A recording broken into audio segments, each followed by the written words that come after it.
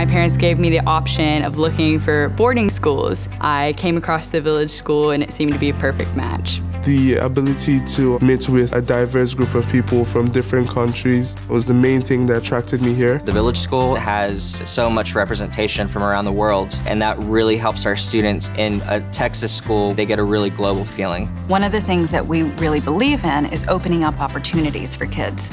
We provide opportunities like the entrepreneurship program, the IB diploma program, and our kids each have the ability to find their own track and what resonates with them. I am a dancer. I do a lot of different activities after school. The village school has become a home for me.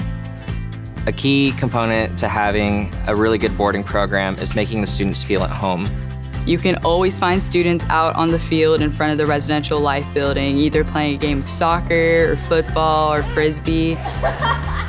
Living in Houston, one of the four biggest cities in the country, has really helped us create a really successful weekend program with our students. We have an endless list of activities that we plan for them. I've grown so much as a person. I used to be very shy. Being at Village, I've met so many different people who have encouraged me to go for it. And now I'm involved in clubs and after school activities and sports teams, and it's really helped me thrive. When I go home, my parents would always notice the fact that I have become more mature and more independent. You know, based on the academics, I think it's exceeded my expectations. This is truly my second home, and I think it gives it a totally different atmosphere through living at the school itself. And the students who live here with me do become your second family.